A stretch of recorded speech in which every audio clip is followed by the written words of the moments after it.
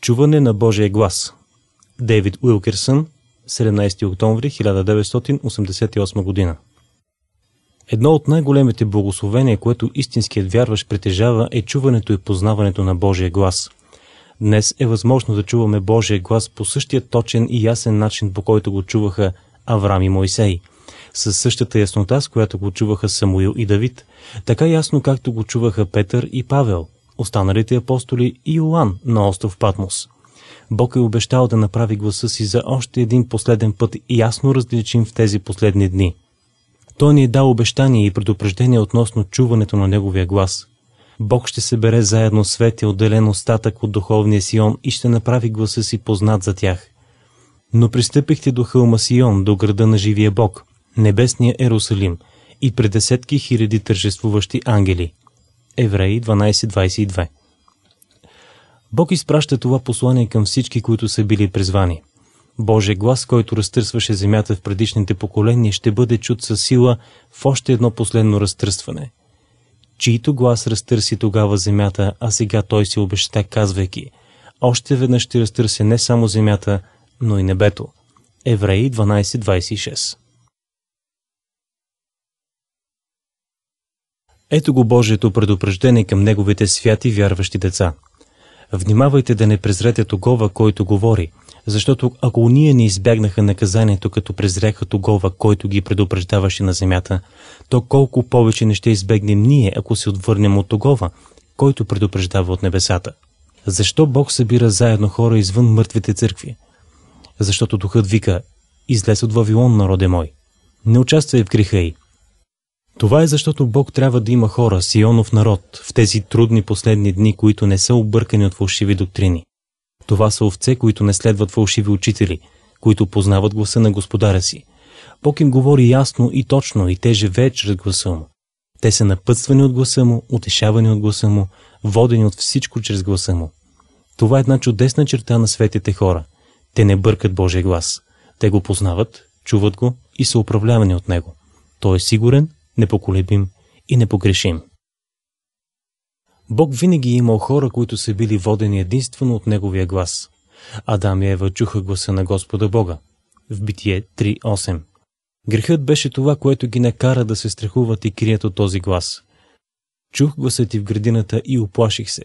Стих 10 Авраам стана баща на много народи, защото чу и се подчини на Божия глас. В твоето потомство ще се благославят всички народи на земята, защото си послушал гласа ми. Битие 22.18 Понеже Аврам послуша гласа ми и опази заръчването ми, заповедите ми, повелята ми и законите ми. Битие 26.5 Моисей не правеше нищо, докато не чуваше Божия глас. И когато тръбния глас се усилваше, Моисей говори и Бог му отговори с глас. В изход 19.19 19. И Господ рече на Моисея, в изход 19.21, а Моисей рече Господу, стих 23. Но Господ му каза, стих 24. Тогава Бог изговори. Изход 21. Моисей и Бог говореха един с друг като близки приятели. Бог винаги е търсил хора, които ще имат уважение и страхопочитание от Неговия глас. Бог каза на Моисей, Събери ми людите и ще ги направя да чуят думите ми, за да се научат да ми се боят пред всичкото време, докъдето живеят на земята. И те да учат чедата си на това. Второзаконие 4.10 Тогава Господ ви говори и сред огъня, вие чухте гласа на думите, но не видяхте никакъв образ, само глас чухте. Стих 12. Люди чули ли са някога Божия глас да говори и сред огън, както ти си чул и да останат живи? Стих 33. За да те научи, той те направи да чуеш гласа му от небето. И ти си чул думите му. Стих 36. И думахте, и чухме гласа му. Днес видяхме, че Бог говори с човека и той остана жив. Второзаконие 5.24 Много от Божиите хора не желаят да приемат отговорността да чуват Божия глас. Децата на Израел искаха Божия глас да идва към тях чрез някой свят служител. А сега, защо да измрем? Понеже Той е голям огън ще ни поеде. Ако чуем още веднъж гласа на Господа нашия Бог, ще измрем. Защото кой от всичките смъртни чул гласа на живия Бог, говорещ и сред огъня, както ние чухме и е останал жив? Пристъпи ти и слушай всичко, което ще рече Господ нашия Бог, а ти ни казвай всичко, що ти говори Господ нашия Бог, и ние ще слушаме и ще извършваме. Второзаконие 5, 25-27 Божиите хора не са по-различни днес. Те все още се страхуват от отговорността да бъдат сами с Бога и да чуват гласа Му. Но Господ искаше всеки израелтянин да познава и да слуша Неговия глас лично. Той им показа, че е говорещ Бог. Днес видяхме, че Бог говори с човека и той остава жив. Стих 24 Не е чудно, че хиляди християни са в заблуда. Те са оставили целия си живот в ръцете на някой учител или пастор, който се превръща в Бог за тях и това, което той чува или проповядва, става за тях Божия глас. Но дори светският и кротък Моисей говори несмислено с устните си в Псалм 106.33 и представи погрешно Божията святост. Ето защо дори и вашият учител да е кротък и свят като Моисей, неговия глас не е безпогрешен. Вие трябва да познавате и слушате Божия глас директно, защото да можете да осъждате това, което се получава. Защо хиляди християни се въодушевяват от нови благовестия, които хулят кръста? Които учат, че кръвта на Исус не е достатъчна да изкупува от грях?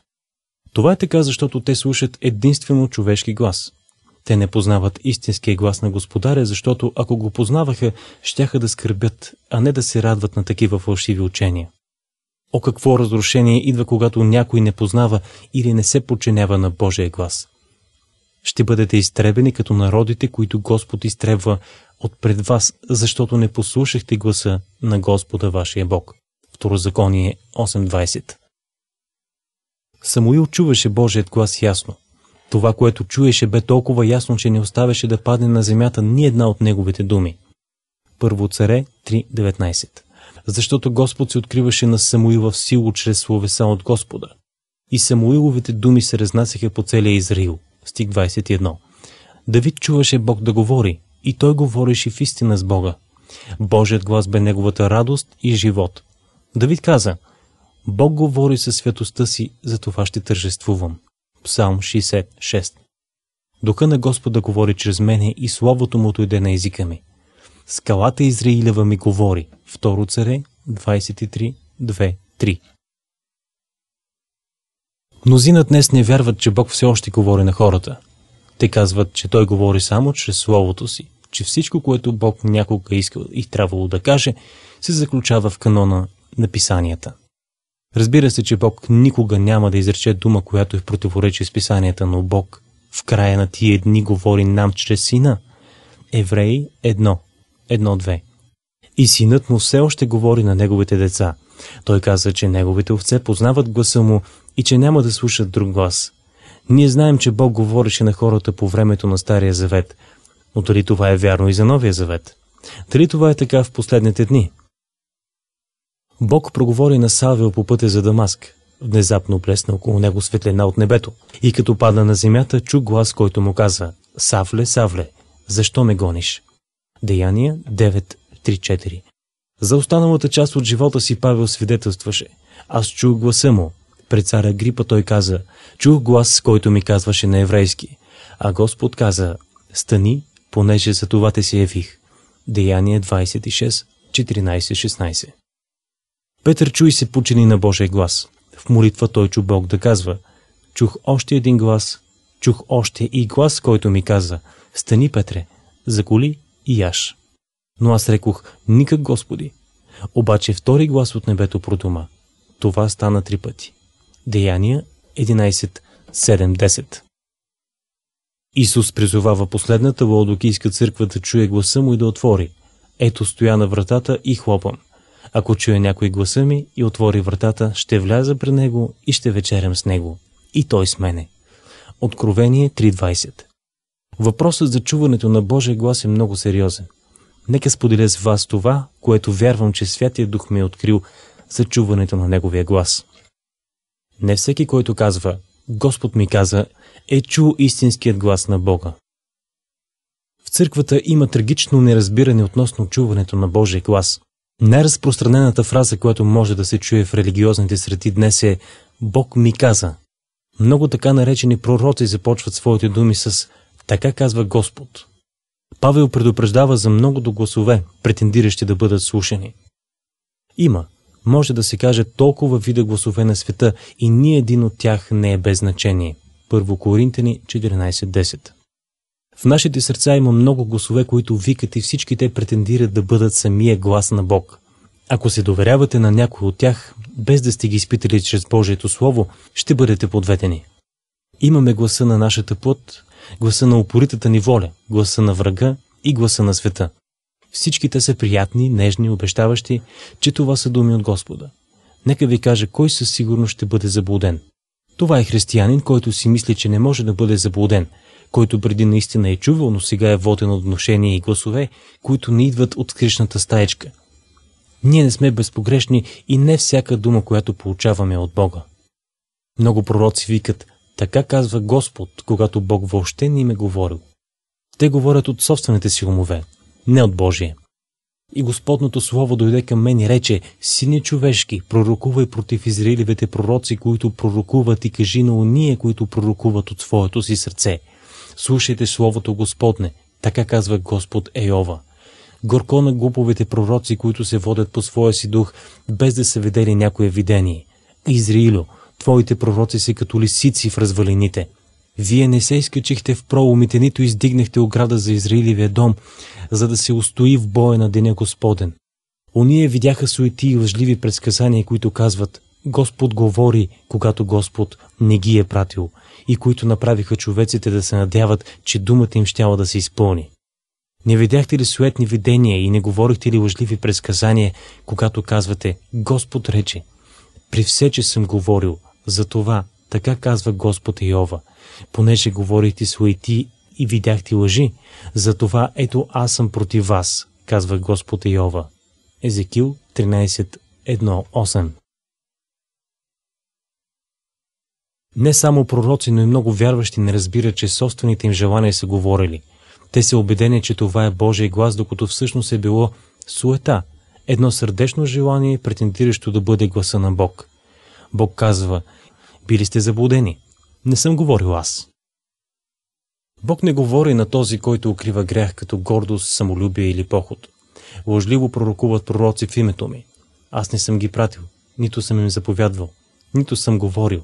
Те ви пророкуват лъжливо видение, гадание, нищожество и измама на своето сърце. Аз не съм изпратил тия пророци, а при все това те се завтекоха. Не съм им говорил, а при все това те пророкуваха. На уния, които пророкуват измамата на своето сърце, ето, аз съм против пророците, казва Господ, които клатят езиците си и казват, Той говори. Ето, аз съм против уния, които пророкуват лъжливи сънища, казва Господ, и като ги разказват с лъжите си и с надмедността си, правят людите ми да се заблуждават. Те никак няма да се ползват тия люди. Те извратиха думите на живия Бог. Аз ще ви забравя съвсем. Ще отхвърля от присъствието си вас. Еремия 23, 21-40 Никой не може да чуе Божия глас, ако има идол или препънка в сърцето си. Божия глас няма да дойде към тези, които укриват грехове идоли. Тия мъже прегърнаха идолите си в сърцата си и туриха беззаконието си като препънка пред лицето си. Бива ли да се допитват тия до мене? Затова говори им, като им речеш, така казва Господ Ейова, на всеки го от Израилевия дом, който прегърне идолите си в сърцето си и тури беззаконието си, като препънка пред лицето си и дойде при пророка, аз, Господ, ще му отговоря както подобава според многото му идоли. Ще насоча лицето му против такъв човек и ще го направя за очудване, за знамение и поговорка и ще го отсека сред людите си и ще познаете, че аз съм Господ. И ако би се подмамил пророка да пророкува дума, аз Господ подмамих того с пророка и ще простра ръката си върху него и ще го изтрепя сред людите си Израиля и ще понесат наказанието на беззаконието си. Езекил 14.3 8.10 Аз, Господ, подмамих този пророк, тези, които знаят, че са в грях и въпреки това идат, очаквайки да чуят Божия глас, Бог ще ги направи да чуят думи на заблуда. Това, което чуят, ще е осъждение и то ще им прибави страдание.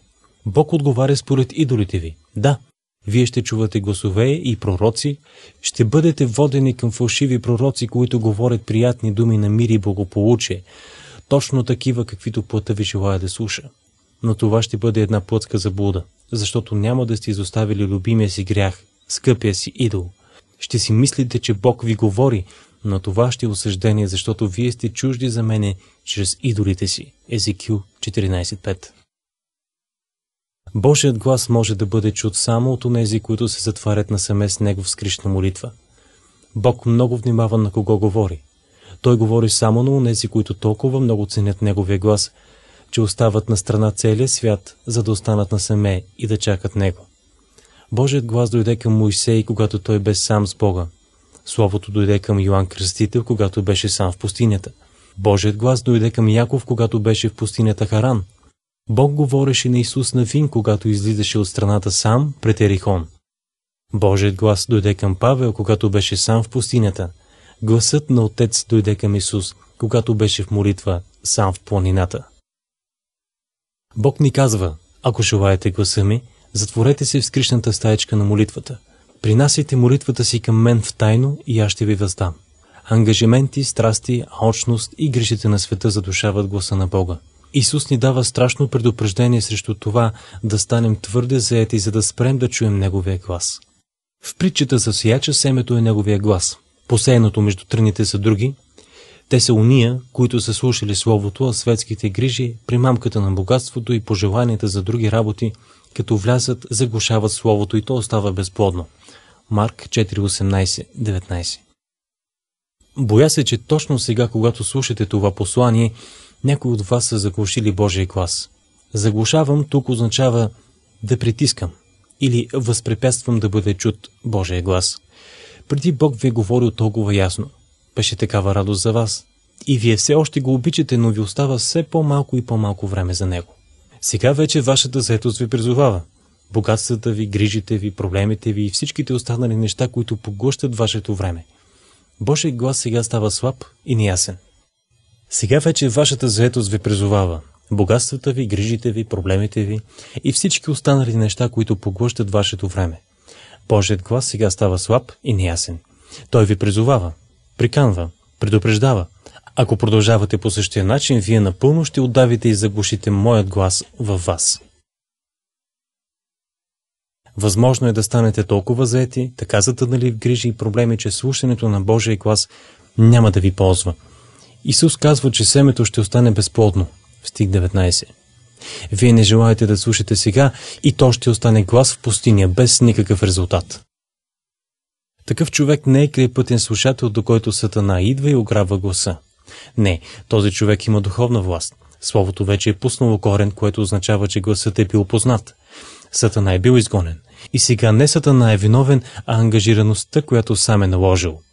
Това е постоянно суетение, бягането насам натам, без никакво качествено време, за да се скрие с него и да разпознава неговия тих и нежен глас.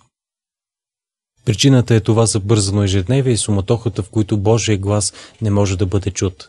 Сега плътта е тази, която говори чрез човешките желания, поемащи ролята на гласа. Това, което е желано, се превръща сега в Божията воля за него. Това, което е било наумено, сега минава за водителство – този обременен слушател приема, че всеки глас е от Бога и понеже гласа е толкова силен, толкова ясен и толкова често повтаряш се, той си мисли, че това трябва да е Бог. Аз ви казвам, че нито едно слово не е от Бога и не е водителство от Святия Дух, освен ако не е родено в скришната стаечка след дълбоко общение, съкрушен дух и много време прекарано насаме в Неговото присъствие. Аз съм убеден, че всички Божии хора биха могли да чуят Неговия тих, нежен глас, ако просто изоставят греха, идолите и се затворят насаме с него и решат да не излизат докато той не проговори. Бог ни предлага свежо, даващо живот слово за всеки нов ден. Бог изговаря свежо слово всеки ден за всички, които ще слушат, но мнозина не могат да го чуят, защото сърцата им стават все по-закоравени. В Евреи ние четем Днес, ако чуете гласа му, не закоровявайте сърцата си. Евреи 3, 7, 8 Божият глас е глас на днес. Той е глас на най-съвременната и последна информация, който Бог желая да слушаме. Исус ни предупреждава относно слушателите оприлечени на канариста земя. Също и посеяното на канаристите места са тие, които като чуят Словото, веднага с радост го приемат, нямат обаче корен в себе си, но са привременни. После като настане напаст или гонение поради Словото, веднага се съблазняват. Марк 4, 16-17. Това е човек, който обича да слуша, който приема с радост всичко, което Бог казва. Но Словото не е напълно разбрано. Божият глас не ги променя. Те остават несъкрушени, с сърца превърнали се в камък. Къде са каменните сърца?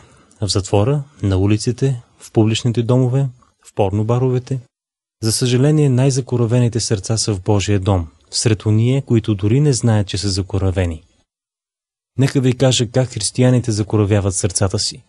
Те отказват да позволят на Божия глас да смачка упоритата им воля.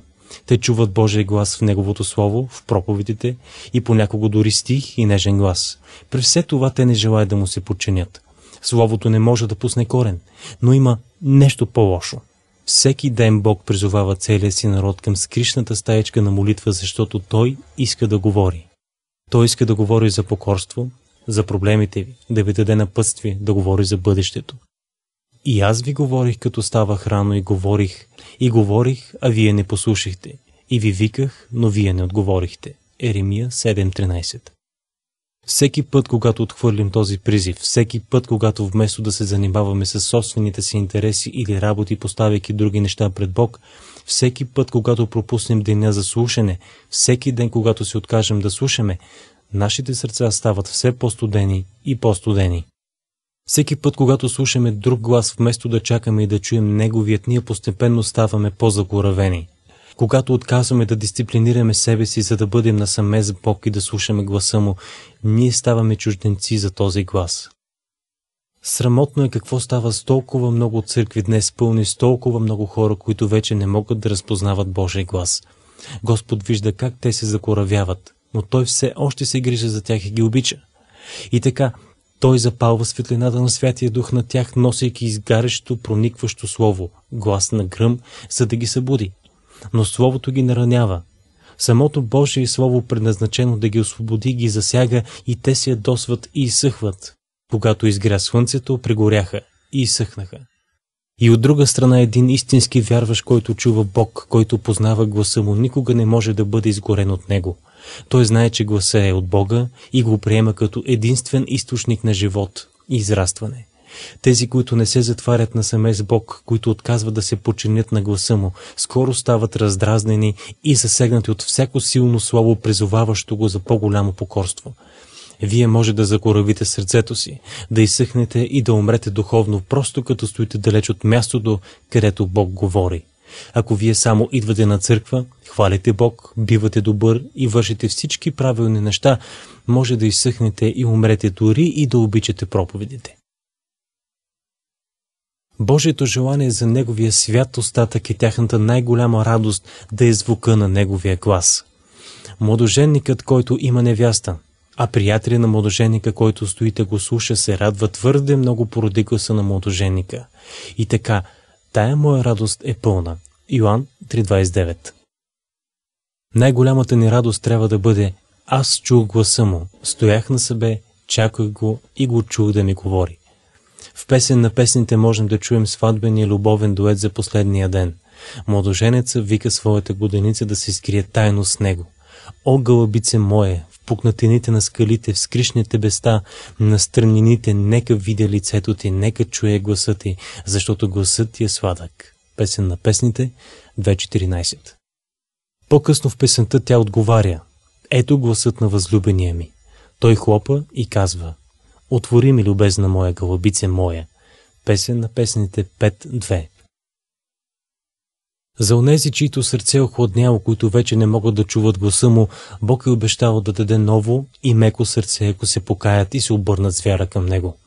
Твърдото сърце не е окончателно, ако искате да се промените. То не е дошло от Бог. По-скоро вие сами сте го направили, като не допускахте Словото да влезе. Ето обещанието за вас. И като дойдат там, ще махнат от нея всичките игносоти и всичките мерзости. И аз ще дам сърце и ще вложа вътре във вас нов дух. И като отнема каменното сърце от плътта им, ще им дам сърце от плът, за да ходят в повелията ми и да пазят наредбите ми и да ги вършат и те ще бъдат мои люде и аз ще бъда техен Бог. Езекил 11, 18, 20 И тогава ще поръся върху вас чиста вода и ще се очистите от всичките ви нечистоти и от всичките ви идоли ще се очистя. Ще ви дам и ново сърце и нов дух ще вложа вътре във вас. И като отнема каменното сърце от плътта ви, ще ви дам меко сърце и ще вложа духа си вътре във вас. И ще ви направя да ходите в повелята ми, да пазите съдбите ми и да ги извършвате. Езекил 36, 25-27 Когато Божия глас не е чут, хората отиват там, където Бог не ги е пратил. Когато не чуват гласа на Бог, хората тичат и се трудят за Него без да са упълномощени и те сами са безпомощни. Аз съм го правил, вършейки добри неща, приемайки предизвикателствата, напълно вярвайки, че се противопоставих срещу нечестивия, натръпах дългове от хиляди долари, бях изтощен и разочарован, търсейки помощ от всякъде. Аз не бях изпратен от Бог. Нищо не разбирах. Бях съкрушен, обременен, готов да се откажа. Всичко това не беше родено в молитва, беше едно човешко състрадание. То не беше Божия път. Но веднъж казах, никога вече, Господи, нито стъпка без да си ми заповядал, нито крачка, докато не чуе гласа ти. Тогава колкото пари бяха необходими, те идваха на време, защото Бог поддържа това, което е основал. Това е радост без никаква тежест, мир без никакво просене – Апелите за пари на днешните служение идват от хора, вършещи добри неща, без да са били изпратени от Божия глас. Собствените им желания са били погрешно приети за Божия глас. Исус не правеше нищо, освен това, което чуеше от небето. От себе си нищо не върша, но каквото Отец ме е научил. Йоан 8.28 Каквото съм чул от Него, това говоря в света. Стих 26 Отец, който ме прати, той ми даде заповед какво да кажа и що да говоря. Това, което говоря, говоря го така, както ме е казал Отец. Йоанн 12, 49-50 Ето четири препоръки, които ще ви помогнат да разпознавате правилно Божия глас. Неговият глас винаги води към Исус и изобличава всеки грях и поход. Йоанн чу неговия глас и когато го видях, паднах при нозете му. Откровение 1.17 Неговото присъствие винаги съпровожда гласа му вие ще сте обгърнати и възрадвани от славата на Неговото присъствие. Неговият глас ще ви даде доказателство от писанията. Святият Дух ще ви заведе до потвърждение в Словото си. Всичко, което Бог казва, трябва да е в съгласие с писанието във всяко едно отношение. Всичко, което Той каже, ще устои пред Христовото съдилище в своята чистота и самоотрицание.